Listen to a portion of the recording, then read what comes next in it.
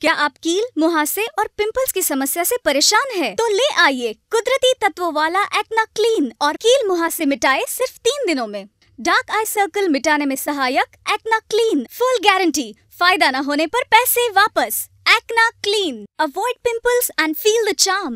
acne clean lotion and cream